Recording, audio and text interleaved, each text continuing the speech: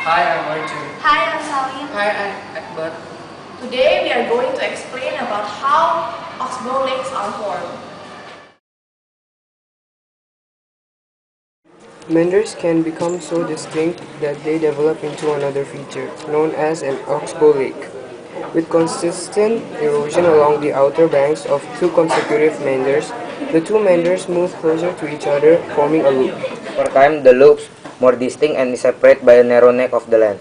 This neck is getting narrower with continuous, continual erosion and deposition. As deposition and erosion continue to take place along the inner and outer bank respectively, the two meanders eventually meet. The sediment deposited will eventually dam up the water in the cutoff, forming an oxbow lake. The river will now flow in a straight path for a short distance before it begins to meander again. Oxbow lakes are generally temporary features. As it is cut off from the main river, the oxbow lakes will eventually dry up due to evaporation, encouraging the growth of vegetation.